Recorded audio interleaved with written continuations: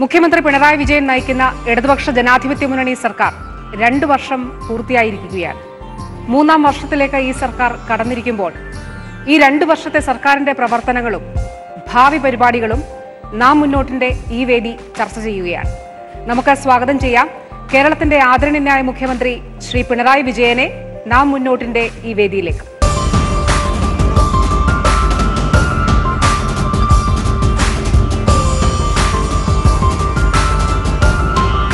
ബഹുമാനപ്പെട്ട C M സർക്കാരിന്റെ രണ്ടാം വാർഷികത്തോടനുബന്ധിച്ചുള്ള പ്രത്യേക എപ്പിസോഡാണ് നമ്മൾ ഇന്നിപ്പോൾ ഇവിടെ എടുക്കാൻ പോകുന്നത്. നമ്മോടൊപ്പം ഈ ചർച്ചയിൽ പങ്കെടുക്കുന്നത് മുൻ ചീഫ് സെക്രട്ടറിയും കിഫ്ബി ചീഫ് എക്സിക്യൂട്ടീവ് ഓഫീസറുമായ ഡോക്ടർ കെ എം എബ്രഹാം മുൻ ചീഫ് സെക്രട്ടറിയും കേന്ദ്രത്തിലും കേരളത്തിലും പ്രധാന നിരവധി ചുമതലകൾ വഹിച്ചിരുന്നതുമായ ഡോക്ടർ കെ ജയകുമാർ വിവരസാങ്കേതിക രംഗത്തെ വിദഗ്ധൻ ശ്രീ ജി വിജയരാഘവൻ സാമ്പത്തിക വിദഗ്ധ ഡോക്ടർ മേരി ജോർജ് പ്രശസ്ത ന്യൂറോളജിസ്റ്റും മെഡിക്കൽ കൗൺസിൽ ഓഫ് ഇന്ത്യ അംഗവുമായ ഡോക്ടർ റാണി നായർ ചലച്ചിത്ര താരവും അധ്യാപികയുമായിരുന്ന രചന നാരായണൻകുട്ടി എന്നിവരാണ്. ബഹുമാനപ്പെട്ട സി എം ഈ നവകേരള മിഷനിലെ ഹരിത കേരളം പദ്ധതി. സംസ്ഥാനത്തെ ജനങ്ങൾ ഏറ്റെടുത്ത് നെഞ്ചിൽ ഏറ്റെടുത്ത ഒരു പദ്ധതിയാണ്. ദീർഘവീക്ഷണത്തോടെയുള്ള ഒരു ഇടപെടൽ കൂടിയാണ്. ഇപ്പോൾ ധാരാളമായി കുളങ്ങളും പുഴകളും വീണ്ടെടുത്തിട്ടുണ്ട്. അതിന്റെ ഒരു അടുത്ത ഘട്ടം ഹരിത കേരളം മിഷന്റെ പ്രവർത്തനങ്ങൾ അത് ഏത് രീതിയിലായിരിക്കും? ഹരിത കേരള മിഷന്റെ ഏറ്റവും പ്രധാനപ്പെട്ട ഭാഗം ഈ നമ്മുടെ നാട് എവിടെ നോക്കിയാലും വൃത്തിയായിരിക്കുക എന്നുള്ളതാണ്. നല്ല ശുചിയായിരിക്കുക. ഇക്കാര്യത്തിൽ നല്ല ഇടപെടൽ പൊതുസമൂഹത്തിൽ നിന്ന് വന്നിട്ടുണ്ട്. എന്നാൽ പൂർണമായി എന്ന് പറയാൻ പറ്റില്ല. രണ്ട് തരത്തിലാണ് മാലിന്യ സംസ്കരണം പറ്റുക. ഒന്ന് ഉറവിട മാലിന്യ സംസ്കരണം. അത് ഒരു പരിധിയോളം വിജയിച്ചിട്ടുണ്ട്. പക്ഷേ വലിയ പട്ടണങ്ങളിൽ ഈ ഉറവിട മാലിന്യ സംസ്കരണം കൊണ്ട് മാത്രം പരിഹാരമാവില്ല അപ്പോൾ അവിടെ കേന്ദ്രീകൃത മാലിന്യ സംസ്കരണം തന്നെ വേണ്ടിവരും അക്കാര്യത്തിലും ആവശ്യമായ നടപടികൾ സ്വീകരിച്ചു വരികയാണ്. ഇപ്പോൾ എറണാകുളത്തിന്റെ കാര്യത്തിൽ തീരുമാനം തന്നെ ആയിക്കഴിഞ്ഞു. ബാക്കി ആറേഴ് സ്ഥലത്ത് കാര്യങ്ങൾ നല്ല വേഗതയിൽ നീങ്ങിക്കൊണ്ടിരിക്കുക നമ്മുടെ നാട്ടിൽ വലിയ തെറ്റിദ്ധാരണയുണ്ട്. ആ പക്ഷേ തെറ്റിദ്ധാരണ വന്നത് ഈ അനുഭവത്തിൽ നിന്നാണ്. ഒരു വെറും തെറ്റിദ്ധാരണയല്ല. ഇപ്പോൾ വളപ്പിൽശാല നമ്മൾ സ്ഥാപിച്ചപ്പോൾ അവിടെ ചുറ്റുപാടുള്ളവർക്ക് നാറ്റം കൊണ്ട് വല്ലാത്ത അവസ്ഥയുണ്ടായി. തൃശ്ശൂരിൽ അതുപോലൊരു പ്രദേശത്ത് വലിയ തോതിലുള്ള പ്രശ്നം ഈ നാട്ടുകാർ ഒരു ദുരനുഭവത്തിൽ പെടുകയാണ് അതുകൊണ്ട് അവരും എതിർക്കുന്ന നില വന്നു അത് അത് സംഭവിച്ചത് ആധുനിക രീതിയിലേക്ക് നമ്മൾ പോകാത്തത് കൊണ്ടാണ്. ഇപ്പോൾ കഴിഞ്ഞ ദിവസം സ്വിറ്റ്സർലാൻഡ് എന്നുള്ളൊരു ടീം നമ്മുടെ സി എമ്മിന്റെ ഓഫീസിലേക്ക് വന്നിരുന്നു. അപ്പോൾ അവിടെ സംസാരിക്കുമ്പോൾ അവിടുത്തെ പ്ലാനിനെ പറ്റി അവർ പറയുകയാണ് അപ്പോൾ ഞാൻ അവരോട് ചോദിച്ചു ഈ പ്ലാന്റ് എന്ന് വല്ല മണോ മറ്റോ ഉണ്ടോ പുറത്ത്? അപ്പോൾ അവർ പറഞ്ഞു ഇത് ജനീവയിൽ തന്നെയാണ്. ആ ഹാർട്ട് ഓഫ് ദ സിറ്റിയിലാണ് ഈ പ്ലാന്റ് ഒരു മലയാളി ഉണ്ട് ആ കൂട്ടത്തിൽ. അയാൾ പറഞ്ഞു ഞാൻ ആ പ്ലാനിനകത്ത് പോയതാണ്. നിയമസഭയിലെ എന്റെ റൂമിൽ വെച്ചായിരുന്നു സംസാരിക്കുന്നത്. ഈ- റൂമിനേക്കാളും വൃത്തിയുണ്ട് അവിടെ എന്നാണ് പറയുന്നത്. അതായത് ഈ ആ റൂമിന് എന്തെങ്കിലും മോശമുള്ളത് കൊണ്ടല്ല പറഞ്ഞത്. ഒരു താരതമ്യം പറഞ്ഞു എന്ന് മാത്രം. അപ്പോൾ അത്രയും വൃത്തിയിലാണ് ആ സാധനം മെയിന്റെയിൻ ചെയ്യുന്നത്. ഒരു ദൂഷ്യവും ഇല്ല. സിറ്റിക്കകത്ത് തന്നെയാണ്. അപ്പോൾ അത് സാധ്യമാകുന്നതാണെന്ന് അർത്ഥം. ഇപ്പോഴത്തെ ആധുനിക പ്ലാന്റുകൾ. അപ്പോൾ ആ തരത്തിലുള്ള പ്ലാന്റുകൾ സ്ഥാപിക്കാനാണ് നമ്മൾ ഉദ്ദേശിക്കുന്നത്. അതോടൊപ്പം എല്ലാവരും ഇതിന്റെ ഭാഗമാവണം. എല്ലാ ആളുകളും ഈ ഒരു പുതിയ സംസ്കാരത്തിലേക്ക് വരണം. മാലിന്യം വേർതിരിച്ചിടുക അത് കൊടുക്കുന്ന നില വരിക അതൊക്കെ അതിന്റെ ഭാഗമായിട്ട് വരും. ഇത് സ്വിറ്റ്സർലൻഡിന്റെ സാങ്കേതികത്വം നമ്മൾ അങ്ങനെ സഹകരണമുണ്ടോ?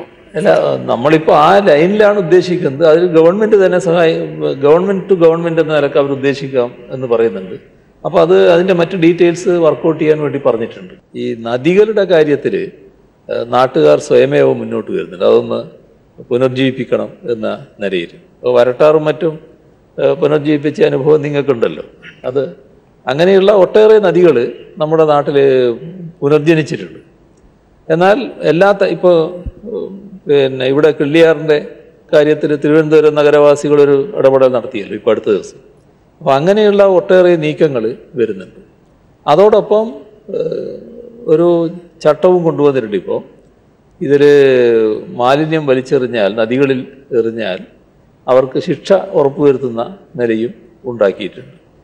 ഇത് ഒന്നുകൂടി ശക്തിപ്പെടുത്തി പോകാൻ നമുക്ക് കഴിയേണ്ടതായിട്ടുണ്ട്. അതിന്റെ കൂടെ തന്നെയാണ് നമ്മൾ ഈ ജൈവ കാർഷിക രീതി പ്രോത്സാഹിപ്പിക്കാൻ വേണ്ടി നിശ്ചയിച്ചത്. അതിന് നല്ല മാറ്റമുണ്ട്. നമ്മുടെ പച്ചക്കറികളൊക്കെ സ്വന്തമായിട്ട് ഉൽപ്പാദിപ്പിക്കുന്ന ഒരു രീതി പൊതുവേ വന്നിട്ടുണ്ട്. പലയിടങ്ങളിലും തരിശ് നിലങ്ങൾ കൃഷി ചെയ്യുന്ന നില നാട്ടുകാർ നല്ല നിലയ്ക്ക് ഏറ്റെടുത്തിട്ടുണ്ട്. ഓരോ പൊതുസമൂഹം ഹരിത കേരള മിഷന്റെ ഭാഗമായിട്ടുള്ള പ്രവർത്തനങ്ങൾ ഏറ്റെടുത്ത നില തന്നെയാണുള്ളത്. ഇപ്പോൾ ജാഗ്രതോത്സവമൊക്കെ നടക്കുന്നുണ്ട്. ഈ ജനുവരി മാസം മുതൽ തന്നെ എല്ലാ തദ്ദേശ പഞ്ചായത്ത് പ്രസിഡന്റുമാരൊക്കെ ഇവിടെയുണ്ട്. തദ്ദേശ സ്ഥാപനങ്ങൾ ഇതിന്റെ പ്രവർത്തനങ്ങൾ നടന്നിരുന്നു മെയ് മാസത്തിൽ നടന്നു. അപ്പം അങ്ങനെ ഒരു ജാഗ്രതയുണ്ട്. പക്ഷെ നമ്മൾ സി എം പറഞ്ഞതുപോലെ വളരെയേറെ മുന്നോട്ട് പോകുവാനുണ്ട് ഈ മാലിന്യ സംസ്കരണത്തിൽ. അത് സംബന്ധിച്ച്. ഇതിൽ കൂടുതൽ അവയർനെസ് സൃഷ്ടിക്കുക എന്നുള്ളതാണ് ഏറ്റവും പ്രധാനപ്പെട്ട കാര്യം. പൊതുജനങ്ങളിൽ കൂടുതൽ അവയർനെസ് സൃഷ്ടിക്കുക. ഇത് സർക്കാർ മാത്രമല്ല സാമൂഹ്യ സംഘടനകളും അതോടൊപ്പം തന്നെ എൻ ജി ഒസ് അതായത് ഗ്രാമസഭ വാർഡ് സഭ ഇവർ ഇവരെ ഇവരൊക്കെ കുടുംബശ്രീ ഇവരെ എല്ലാം കൂടെ ഉൾപ്പെടുത്തിയുള്ള ഒരു മിഷനാണ് ഈ രീതിയിൽ പോകേണ്ടത്. നമ്മളിപ്പോൾ നടത്തുന്നത് പോലെ Shri G Vijayan C M പറഞ്ഞ പോലെ ശരിക്കും സിംഗപ്പൂരിൽ നാല് ഏക്കർ സ്ഥലത്താണ് സിംഗപ്പൂരിന്റെ മൊത്തം വേസ്റ്റും അവർ ട്രീറ്റ് ചെയ്യുന്നത്. ശരിക്കും നമ്മുടെ വേസ്റ്റ് പോലെയാണ്. ഒരുപാട് എണ്ണയും ഒരുപാട് നോൺ നോൺ വെജും ഒക്കെ ഉള്ള അത് നാല് ഏക്കർ സ്ഥലത്ത്. അതിന്റെ തലപ്പത്തൊരു മലയാളിയായിരുന്നു. അത് ഇത്രത്തോളം എന്നിട്ട് ആ സിറ്റിക്കകത്ത് അതിനെപ്പറ്റി യാതൊരു സ്മെല്ലും ഒന്നുമില്ല. ഇനി ശരിക്കും കേരളത്തിൽ പല നല്ല പദ്ധതികളും ഈ പൊളിറ്റിക്കലായിട്ട് മാറുമ്പോഴത്തേക്കാണ് അതിന്റെ ഇഷ്യൂസ് വരുന്നത്. അപ്പോൾ അതൊന്ന് ഇപ്പോൾ ഇതിലിപ്പോൾ തോന്നി ക്യാബിനറ്റ് ഈ ഇടയ്ക്ക് പേപ്പറിൽ വായിച്ച ഒരു ആറ് സെന്റേഴ്സ് തുടങ്ങാൻ പോകുന്നു.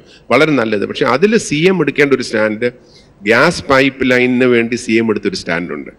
അതുപോലെ തന്നെ നാഷണൽ ഹൈവേ ഇനി ചർച്ചയില്ല. ആദ്യം കുറച്ച് ചർച്ച ചെയ്യുക. അത് കഴിഞ്ഞ് ഇനി ചർച്ചയില്ല. ഇവിടെ നടത്താൻ പോകുന്നു. ആ ഒരു ഇച്ഛാശക്തിയായിട്ട് മുന്നോട്ട് പോയി. ഒരു ഒരു വർഷം കൊണ്ട് ഈ പ്ലാന്റുകളൊക്കെ അപ്പാക്കാം. അങ്ങനെ വരാണെങ്കിൽ പിന്നെ അത് കഴിഞ്ഞിട്ട് ആൾക്കാർ കംപ്ലയിന്റ് വരില്ല. അല്ലെങ്കിൽ ഒരു ഗ്യാരണ്ടി പറയാം നിങ്ങൾക്ക് ബുദ്ധിമുട്ട് വരാണെങ്കിൽ നിങ്ങൾക്ക് ഞങ്ങൾ പകരം സ്ഥലവും വീടും തരാം എന്നുള്ള രീതിയിൽ ഉള്ളൊരു പ്രോഗ്രാം ചെയ്യുകയാണ് പക്ഷെ ഒരു സ്ട്രോങ് ആയിട്ട് മുന്നോട്ട് പോകണം. അത് ഈ ഗവൺമെന്റിന് സാധിക്കും എന്നുള്ളൊരു വിശ്വാസം ഉള്ളതുകൊണ്ടാണ് പറയുന്നത് കേരളത്തിലെ ജനങ്ങൾ പൊതുവെ ശുചിത്വബോധമുള്ളവരാണ്. അത് പക്ഷേ നമ്മുടെ ശുചിത്വബോധം എന്ന് പറയുന്നത് നമ്മുടെ വീട്ടിലും നമ്മുടെ വ്യക്തിയുടെ ശുചിത്വത്തിലും മാത്രം ഒതുങ്ങി നിൽക്കുക. അതാണ് പ്രധാനപ്പെട്ട തകരാറ്. മാലിന്യങ്ങളെല്ലാം കഴിയുന്നതും വേഗം പൊതുവഴിയിലേക്കോ അടുത്ത പറമ്പിലേക്കോ ഡിസ്പോസ് ചെയ്യുക എന്നുള്ളതാണ് നമ്മുടെ രീതി. ആരും കാണാതെ കണ്ടാലും വലിയ തകരാറില്ല എന്നുള്ള മട്ടിൽ കാറിൽ കൊണ്ടുവന്ന് രാവിലെ സ്ഥിരം കാഴ്ചയാണ്. ഏറ്റവും വലിയ പ്രധാനപ്പെട്ട നിയമനിർമ്മാണങ്ങളിൽ ഒന്നാണ്. രണ്ടു വർഷം ഏറ്റവും പ്രധാനപ്പെട്ടത് ഈ ജനങ്ങൾ വേണ്ട ഒരു അവബോധം സൃഷ്ടിക്കുക എന്നുള്ളതല്ല ആണ്.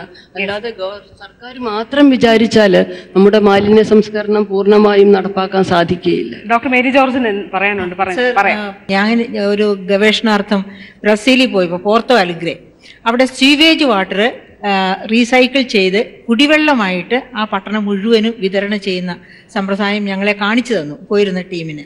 അപ്പം അതുപോലെ ഇവിടുത്തെയും ഇപ്പോൾ നമ്മുടെ എന്താ പറയുക കിഴക്കേക്കോട്ട മുതൽ എറണാകുളം അതുപോലെ കോഴിക്കോട് എല്ലായിടത്തും വെള്ളക്കെട്ട് വെള്ളക്കെട്ടുണ്ടാവുകയാണ് അപ്പോൾ ഈ സീവേജ് വാട്ടറിനെ ഒക്കെ ശുദ്ധജലമാക്കുക എന്നല്ല ഞാൻ പറയുന്നത്. പ്രോപ്പറായിട്ട് വെള്ളം ഒഴുകിപ്പോകുന്നു എന്ന് ഉറപ്പ് വരുത്തത്തക്ക രീതിയിൽ ലാസ്റ്റ് പോയിന്റ് വരെയും അതിനെ ഫോളോ അപ്പ് ചെയ്യാത്തത് കൊണ്ടാണ് ഓരോ പ്രോഗ്രാമും ഭാഗികമായിട്ട് നടന്നു പോകുന്നു. പിന്നെ ഒരിക്കലും പ്രയോജനം ചെയ്യുന്നില്ല. പിന്നെ എനിക്ക് അത്യാവശ്യമായിട്ട് പറയാനുള്ളത് നമ്മൾ ടൂറിസമാണ് നമ്മുടെ ഇക്കോണമിയുടെ ഏറ്റവും വലിയ വളർച്ചയ്ക്ക് സാധ്യതയുള്ളത്. അപ്പം അതിന് ഈ ഈ പറയപ്പെട്ട ഖരമാലിന്യ സംസ്കരണം അത് സാറ് തന്നെ നേരത്തെ സൂചിപ്പിച്ചതുപോലെ ഒറിജിനിൽ തന്നെ ഒരു പരിധി വരെ പക്ഷേ സെൻട്രലൈസ്ഡ് ആയിട്ടുള്ള സിസ്റ്റമാണ് അത്യാവശ്യം. സർ പറഞ്ഞതുപോലെ പൂന്തോട്ടം പോലെയാണ് പല സ്ഥല രാജ്യങ്ങളിലും അമേരിക്കയിലും എല്ലായിടത്തും ഈ സെൻട്രലൈസ്ഡ് സിസ്റ്റംസ് വരുന്നത്. അപ്പം അങ്ങനെ വരണമെന്നുണ്ടെങ്കിൽ അത്തരം കമ്പനികളെ വിദേശത്തു നിന്ന് തന്നെ കൊണ്ടുവന്ന് അവരെ ഏൽപ്പിക്കുക അത് ആ പറഞ്ഞ് അവരെ ഏറ്റിരിക്കുന്ന കപ്പാസിറ്റിയിൽ തന്നെ അതുപോലെയുള്ള ഇൻസ്ട്രുമെന്റ്സ് കൊണ്ട് തന്നെ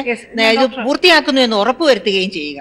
ഡോക്ടർ ജയകുമാർ. ഇതിലേക്ക് പോകുന്നതിന് മുമ്പ് നമ്മുടെ മാലിന്യത്തെ പറ്റി പറഞ്ഞതിന് കൂട്ടച്ചേർത്തൊരു കാര്യം പറയാനുള്ളത് സാർ നമ്മളിപ്പോൾ നഗരങ്ങളിൽ കേന്ദ്രീകൃതമായിട്ടുള്ള മാലിന്യ സംസ്കരണ പ്ലാന്റുകൾ വേണം. ഇല്ലാതെ നിവൃത്തിയില്ല. പക്ഷേ മാലിന്യ സംസ്കരണ പ്ലാന്റുകൾ ഉള്ള സ്ഥാപനങ്ങളും സ്ഥലങ്ങളുമുണ്ട്. ആശുപത്രികൾ പ്രധാന ആശുപത്രികൾ ഫാക്ടറികൾ.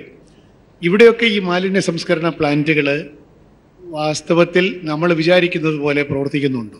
ഞാൻ പറയാൻ സൂചിപ്പിക്കുന്ന ഞാൻ സൂചിപ്പിക്കാൻ ശ്രമിക്കുന്നത് സർ ഈ പൊല്യൂഷൻ കൺട്രോൾ പോലെ ബോർഡ് പോലെയുള്ള സ്ഥാപനങ്ങൾ ഒരു റെഗുലേറ്ററി സ്ഥാപനങ്ങൾ ഇക്കാര്യത്തിൽ നിലവിലുള്ള ഈ മാലിന്യ സംസ്കരണ പ്ലാന്റുകൾ യഥാർത്ഥത്തിൽ വർക്ക് ചെയ്യുന്നുണ്ടോ?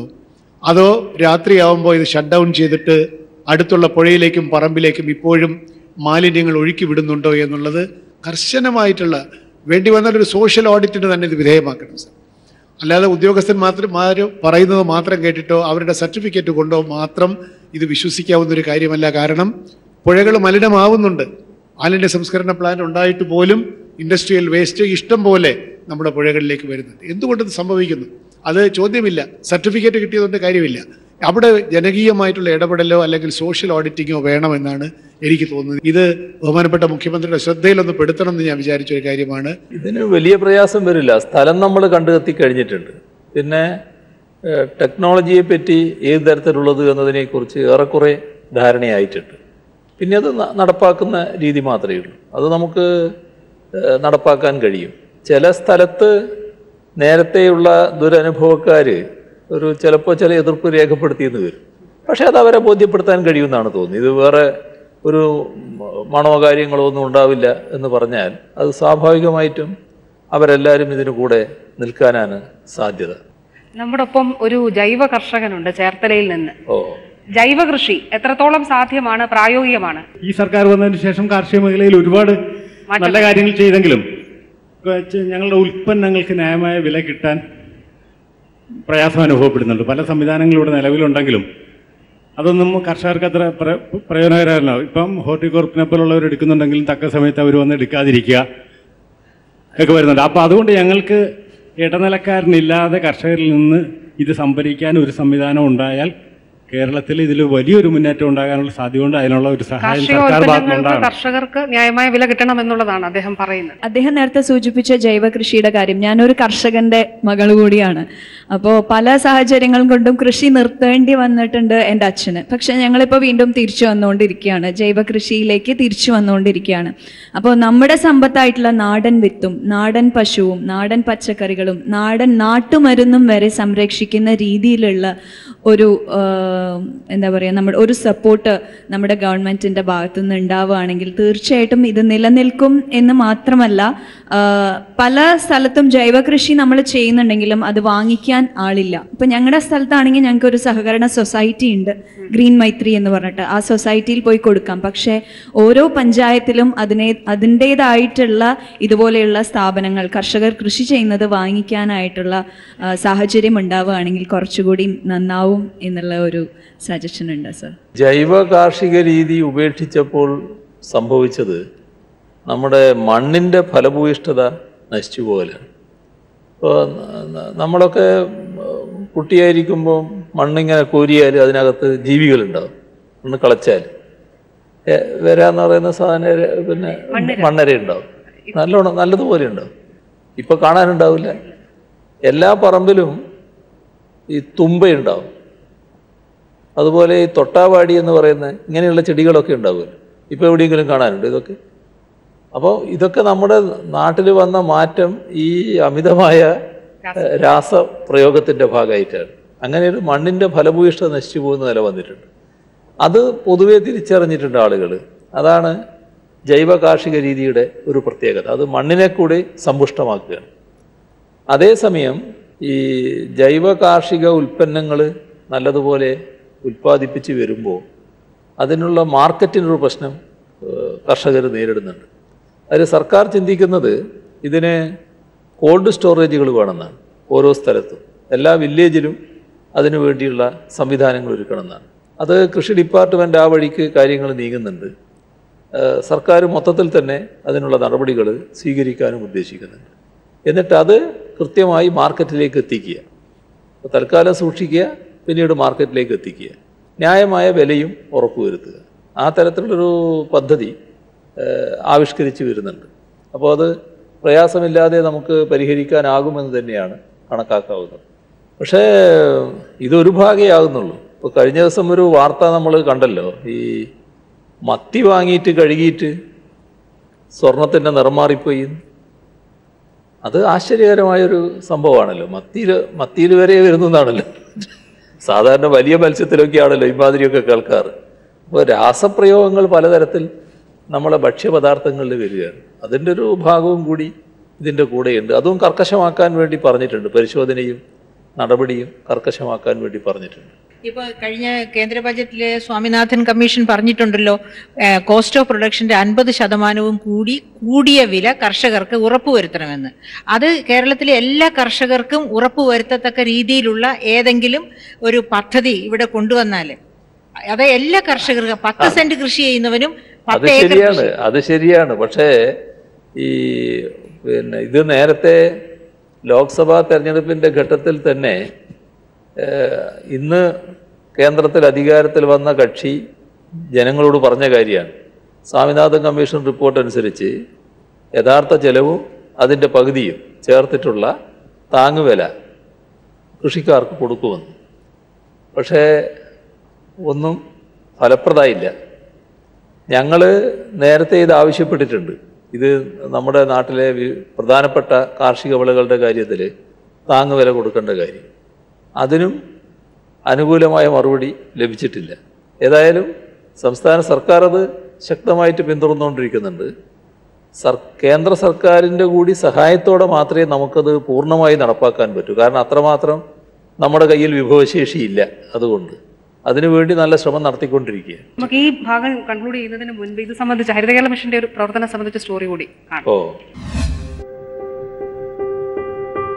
വേനലെത്തും മുൻപേ വരണ്ടുണങ്ങുന്ന കേരളം. ഒരു കാലത്തും കേട്ടുകേൾവിയില്ലാത്ത ഈ സാഹചര്യം പോയ വർഷങ്ങളിൽ നാം അനുഭവിച്ചറിഞ്ഞു. വിഷമയമായ പച്ചക്കറികൾ നിത്യജീവിതത്തിന്റെ ഭാഗമായി. നാടിന്റെ നിലനിൽപ്പിന് വേണ്ടി സർക്കാരും ജനങ്ങളും ഒന്നിച്ച് പരിശ്രമിച്ചപ്പോൾ കേരളക്കരയിൽ പച്ചപ്പിന്റെ കാറ്റ് തിരിച്ചു വീശി തുടങ്ങി. കേരളത്തെ ഹരിത സമൃദ്ധിയിലാക്കാനുള്ള ഹരിത കേരള മിഷന്റെ പ്രവർത്തനങ്ങൾ പകരം വയ്ക്കാനാവാത്ത നേട്ടങ്ങളാണ് പോയ വർഷം കൈവരിച്ചത്. ഒഴുക്ക് നിലച്ച വരട്ടാറടക്കം ചെറുതും വലുതുമായ ഒൻപതിനായിരത്തി ഒരുന്നൂറ്റി എൺപത്തിയേഴ് കിലോമീറ്റർ നീർപ്പുഴകളും തോടുകളും പുനരുജ്ജീവിപ്പിച്ചു. ശോചനീയാവസ്ഥയിലായിരുന്ന ആയിരത്തി അറുന്നൂറ്റി ഇരുപത് കനാലുകൾ ശുചീകരിച്ച് ഉപയോഗയോഗ്യമാക്കി. ജലാശയങ്ങൾ മലിനമാക്കുന്നവർക്കെതിരെ കർശന ശിക്ഷാ നടപടികൾ കൊണ്ടുവന്നു. വികസനത്തിന്റെ മറവിൽ തരിച്ചിട്ട ഇരുപത്തിരണ്ടായിരത്തി നാൽപ്പത്തിയൊൻപത് ഹെക്ടർ തരിശു നിലത്ത് കൃഷിയിറക്കി എണ്ണൂറ്റി നാൽപ്പത്തിയൊന്ന് ഹെക്ടർ തരിശുഭൂമിയിൽ അധികമായി പച്ചക്കറി കൃഷി നടത്തി ഗുണമേന്മയുള്ള വിഷരഹിതമായ പച്ചക്കറി വിപണിയിലെത്തിച്ചത് മേഖലയിൽ പുത്തൻ ഉണർവ് നൽകി. മാലിന്യ സംസ്കരണ പ്രശ്നങ്ങൾ പരിഹരിക്കാനുള്ള കൂട്ടായ ശ്രമങ്ങൾ വിജയത്തിലെത്തി. ഇത്തരം പ്രവർത്തനങ്ങളിലൂടെ രണ്ട് ലക്ഷം വീടുകളിൽ ഉറവിട മാലിന്യ സംസ്കരണ പദ്ധതി വിജയകരമായി ആരംഭിച്ചു. ആറ്റിങ്ങൽ നഗരത്ത് നഗരത്തിൽ വളരെ നന്നായിട്ട് അവർ ചെയ്യുന്നുണ്ട്. അതിന്റെ ഒരു പിക്ചർ ഇതിന്റെ അകത്തുണ്ടായിരുന്നു പക്ഷെ ശരിക്കും ഒരുപാട് വർഷങ്ങളായിട്ട് ചെയ്യുന്ന നടത്തുന്നത് കാസർഗോഡുള്ള ഒരു ഗ്രൂപ്പാണ് ആറ്റിങ്ങൽ അതുപോലെ തന്നെ കൊടുങ്ങല്ലൂരും വളരെ നന്നായിട്ട് നടക്കുന്നത് അതും ആറ്റിങ്ങൽ നഗരമധ്യത്തിലാണിത്. ഒരു ചെറിയൊരു എനിക്ക് തോന്നുന്നു ഒരു ഒന്നൊന്നര ഏക്കറിൽ കൂടുതലില്ല. വളരെ നന്നായിട്ട് ചെയ്യുന്നുണ്ട് സുൽത്താൻ ബത്തേരി അതിലെ കൂടെ ചേരുന്നുണ്ട്.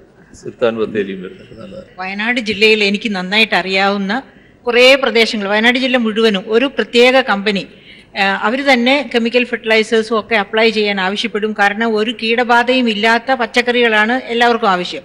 അപ്പോൾ അങ്ങനെ കിട്ടണമെങ്കിൽ കീടനാശിനികൾ അപ്ലൈ ചെയ്യണം. അങ്ങനെ സംഭരിക്കുന്ന പച്ചക്കറികൾ ജൈവം എന്ന് പറഞ്ഞ് കേരളത്തിൽ മുഴുവനും മാർക്കറ്റ് ചെയ്യുന്ന കമ്പനികളുണ്ട്. അതുകൊണ്ട് രാജമാണിക്യത്തെ പോലെയുള്ളവരോട് ജൈവം എന്ന് പറയുന്നവരെയും ശ്രദ്ധിക്കണം. അവർ അവരുടെ ഉൽപ്പന്നങ്ങളും പരിശോധിച്ച് മാത്രമേ വിൽക്കാൻ അനുവദിക്കാവൂ എന്ന് പ്രത്യേക നിർദ്ദേശം അങ്ങ് കൊടുക്കണം. സേഫ് ടു ഈറ്റും ജൈവവും കുറച്ച് വ്യത്യാസമുണ്ട്. എന്നാൽ സേഫ് ടു ഈറ്റ് ആണ് ഏറ്റവും പ്രായോഗികമായിട്ടുള്ളത്. ജൈവ കൃഷിയും അതേസമയം പ്രോത്സാഹിപ്പിക്കണം. ഇത് രണ്ടും കൂടി ചേർന്നിട്ടുള്ളതാണ് നമ്മുടെ നാട്ടിൽ വന്നുകൊണ്ടിരിക്കുന്നത്. നമ്മുടെ നാട് അതിസുന്ദരമായ നാടാണല്ലോ. സ്വിറ്റ്സർലാൻഡിൽ നിന്ന് വന്നവരോട് ഞാൻ പറഞ്ഞു നിങ്ങൾ നിങ്ങളെ നാട് വലിയ നല്ല നാടാണെന്നാണല്ലോ കാണുന്നത്. നിങ്ങൾ കേരളത്തിന്റെ എല്ലാ ഭാഗത്തും പോയാൽ ഇതാ അതേ നാടിനേക്കാൾ ഇതൊന്ന് കാണാൻ പറ്റും. അപ്പോൾ അവർ പറഞ്ഞത് ശരിയാണ് ഞങ്ങളൊരു പത്ത് ദിവസത്തേക്ക് കയറി ഒരു വര വരവിൽ പത്ത് ദിവസം ഉണ്ടാകാമെന്നൊക്കെ പറയുന്ന നിലയുണ്ടായി. പക്ഷേ ഭംഗിയുള്ളത് കൊണ്ട് മാത്രം കാര്യമുണ്ട്. ഒരാൾ വന്നിട്ട് മൂക്ക് പിടിക്കേണ്ടി വരുന്ന അവസ്ഥ വന്നാൽ നാറ്റടിച്ചിട്ട് മൂക്ക് പിടിക്കേണ്ട അവസ്ഥ വന്നാൽ അവർക്ക് എത്രമാത്രം മോശമായ പ്രതികരണമാണ് ഉണ്ടാകുക അപ്പോൾ ആ ഒരു നില ഈ ദൈവത്തിന്റെ സ്വന്തം നാട് എന്ന് വിളിക്കുന്ന ഈ നാടിന് നമ്മൾ ഉണ്ടാക്കണം. നല്ല പൊതു സാഹചര്യം ഉണ്ടാക്കണം. അതിനാണ് നീങ്ങുന്നത്. ചർച്ച അവസാനിപ്പിക്കാം. വളരെ നന്ദി സി എം ചർച്ചയിൽ പങ്കെടുത്തതിന്. ഓരോരുത്തരോടും പേരെടുത്ത് പറഞ്ഞുകൊണ്ട് സഹകരിച്ചതിന് ചർച്ചയിൽ പങ്കെടുത്തതിന് നന്ദി. ഒപ്പം ഇവിടെ പങ്കെടുത്ത എല്ലാവരോടും നന്ദി അറിയിക്കുകയാണ്. ആശ്രയമില്ലാത്ത ജീവിതങ്ങൾക്ക് നിർലോഭമായ പിന്തുണ നൽകുകയാണ് ജനകീയ സർക്കാർ.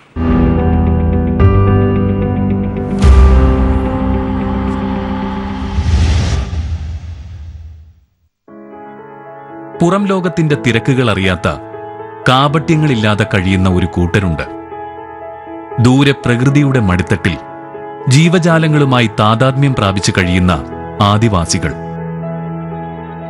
കേരളത്തിലെ ആകെ ജനസംഖ്യയുടെ ഒന്നര ശതമാനം ആദിവാസി വിഭാഗത്തിൽപ്പെട്ടവരാണ്. വിവിധ കാരണങ്ങളാൽ സമൂഹത്തിന്റെ മുഖ്യധാരയിലേക്ക് എത്താൻ കഴിയാതിരുന്ന ഇവർക്ക് കരുത്തും കരുതലുമാവുകയാണ് കേരള സർക്കാർ. ആദിവാസി വിഭാഗത്തിലെ യുവതി യുവാക്കൾക്കായി നടത്തിയ പ്രത്യേക റിക്രൂട്ട്മെന്റിലൂടെ എഴുപത്തിനാല് പേർക്ക് കേരള പോലീസിൽ നിയമനം നൽകി. രാജ്യത്ത് ആദ്യമായാണ് ആദിവാസി വിഭാഗത്തിലെ ഇത്രയും പേർക്ക് ഒരുമിച്ച് ജോലി നൽകുന്നത്. പബ്ലിക് സർവീസ് കമ്മീഷൻ നടത്തിയ പ്രത്യേക റിക്രൂട്ട്മെന്റിലൂടെ നിയമനം ലഭിച്ച എഴുപത്തിനാല് പേർക്കും മുഖ്യമന്ത്രി നിയമന ഉത്തരവ് കൈമാറി. മലയാളികളുടെ ഓർമ്മയിലെ തീരാ നൊമ്പരമായ അട്ടപ്പാടിയിലെ മധുവിന്റെ സഹോദരി ചന്ദ്രികയും മുഖ്യമന്ത്രിയിൽ നിന്ന് നിയമന ഉത്തരവ് സ്വീകരിച്ചു. മധുവിന്റെ കുടുംബത്തിന് സഹായധനമായി പത്ത് ലക്ഷം രൂപ നേരത്തെ സർക്കാർ അനുവദിച്ചിരുന്നു. പോലീസിൽ ആദിവാസി വിഭാഗത്തിന്റെ പ്രാതിനിധ്യം കുറവെന്ന് കണ്ടെത്തിയതിനെ തുടർന്നാണ് പ്രത്യേക റിക്രൂട്ട്മെന്റ് നടത്തിയത്. സ്പെഷ്യൽ റൂൾ അടക്കം ഭേദഗതി ചെയ്ത് നിയമന നടപടി വേഗത്തിലാക്കിയിരുന്നു. പലരെയും നേരിൽ കണ്ട അപേക്ഷ സ്വീകരിച്ചായിരുന്നു നിയമന പ്രക്രിയ പൂർത്തിയാക്കിയത്. സർക്കാർ അധികാരത്തിലെത്തിയ ശേഷം എക്സൈസ് വകുപ്പിൽ ഇരുപത്തിയഞ്ച് പേരെയും വനം വകുപ്പിൽ അൻപത് പേരെയും പ്രത്യേക റിക്രൂട്ട്മെന്റ് വഴി നിയമിച്ചിരുന്നു. ഇത്തരത്തിലുള്ള റിക്രൂട്ട്മെന്റുകൾ ഇനിയും സംഘടിപ്പിച്ച് കൂടുതൽ ആളുകളെ മുഖ്യധാരയിലേക്ക് എത്തിക്കാൻ സർക്കാർ നടപടികൾ ആരംഭിച്ചു കഴിഞ്ഞു. സാമൂഹ്യനീതിയും സമഗ്ര വികസനവുമാണ് സർക്കാർ പിന്തുടരുന്ന അടിസ്ഥാന മുദ്രാവാക്യം. സംസ്ഥാനത്തിന്റെ സാമ്പത്തിക ഉയർച്ചയും സർവോന്മുഖമായ വികസനവും ഉറപ്പാക്കുമ്പോൾ തന്നെ അതിന്റെ ഗുണഫലങ്ങൾ എല്ലാ ജനവിഭാഗങ്ങൾക്കും ലഭ്യമാക്കുക എന്നത് പ്രധാനമാണ്. അതിനായാണ് സർക്കാർ ശ്രമിക്കുന്നത്. കേരളത്തിൽ ഒന്നും നടക്കില്ല എന്നുള്ള പൊതുധാരണ മാറിയിരിക്കുകയാണ്. എല്ലാവരെയും ഉൾക്കൊള്ളുന്ന സമഗ്രമായ വികസനമാണ് സർക്കാരിന്റെ ലക്ഷ്യം. ഇതിനു വേണ്ടിയിട്ടുള്ള പ്രവർത്തനങ്ങളാണ് സർക്കാർ നടക്കുന്നത് ഈ വേദിയിൽ ഉയർന്ന നിർദ്ദേശങ്ങളോട് വളരെ ക്രിയാത്മകമായിട്ടാണ് കേരളത്തിന്റെ മുഖ്യമന്ത്രി പ്രതികരിച്ചിരിക്കുന്നത്. നവകേരള സൃഷ്ടിക്കായി കൂടുതൽ കരുത്തോടെ ഈ സർക്കാർ മുന്നോട്ടു പോവുകയാണ്. ഇതിന്റെ തുടർ ചർച്ച അടുത്തയാഴ്ച കാണാം. നമസ്കാരം.